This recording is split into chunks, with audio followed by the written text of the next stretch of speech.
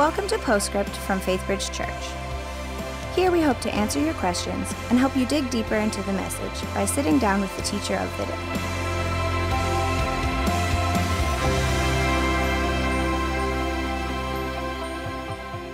And welcome to Postscript. I'm Luann Riley, Grow Group Director, and I'm here with Pastor Dan, who just brought to us part three of Wisdom for Life. Today we talked about meaning and purpose, mm-hmm. which um, is a great thing to talk about on Missions Sunday as well. Um, as we look at this um, call that we have um, to serve others and to make Christ known throughout the world, um, you gave us many great practical ways that we can get involved and that we can serve. Um, and uh, things that we can do to answer that. But talk to me a little bit about how, just on a daily basis, you live out that mission in your life and how we can do that as well. Okay.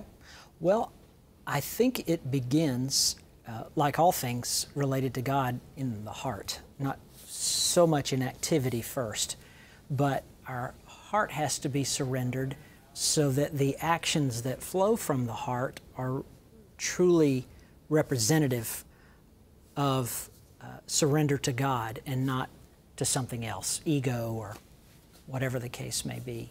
So it, it begins with that posture through prayer and through seeking hard after God. Uh, and then, sort of like in concentric circles moving out, it, it starts where you are. Uh, the, the people that you live with, for one thing. Uh, are you a servant in your home?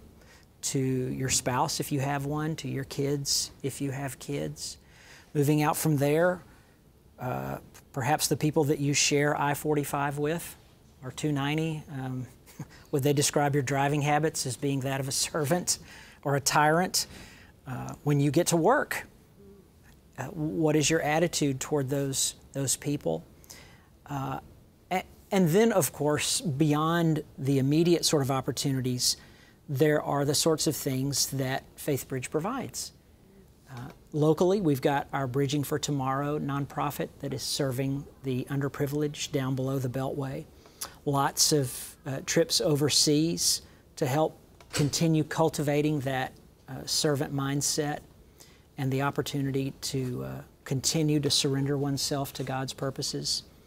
I suppose if there were uh, an overarching principle to all of it, though, it, it boils down to a, a matter of desire. Is, is this what you really want in life? Because if it's not, it'll show. Uh, we, we, tend to do the things that we really want to do. And if being self centered is what we first of all want, that's going to come through loud and clear. But if our primary desire in life is to serve and to please God, that's going to that's going to become clear as well. Yeah. I continue to pray that we see the need of yeah. those around us and those opportunities.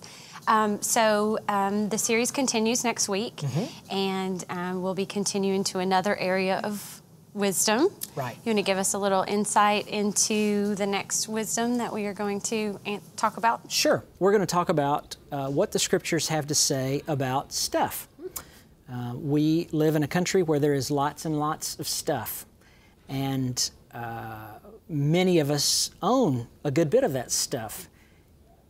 For good or for ill, it can impact our walk with God and our overall experience of life. And so we want to consider what, what does the Bible have to say about our attitude towards stuff, what we do with our stuff, and uh, ultimately how that stuff shapes the sort of person that we're becoming. Great. I'll look forward to hearing it. And thank you for joining us here for Postscript. We'll see you back here next week. Thanks for joining us for Postscript. Help us keep the podcast interactive by submitting your questions during the morning services. Learn more at faithbridge.org forward slash postscript.